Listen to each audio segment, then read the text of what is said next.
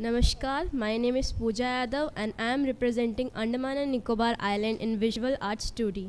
As we all know that COVID-19 pandemic has affected the life of people on a global level, although India has been able to perform very well on different COVID-19 parameters and maintain one of the highest uh, recovery rate and one of the lowest uh, fatality rate and this would have been not possible if our COVID-19 warriors have not put their life on risk to save the lives of others.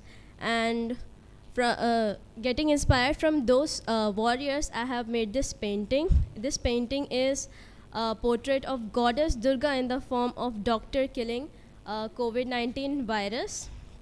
Here, I have made a goddess Durga in the form of doctor wearing a white coat and, and in the background I have made the uh, COVID-19 warriors, the policemen, the reporters and the cleaners.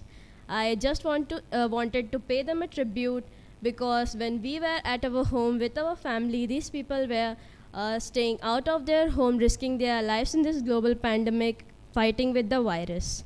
And I just wanted to thank those warriors and uh, give a salute to them and this is a tribute from my side and the whole Andaman and Nicobar Island. Thank you.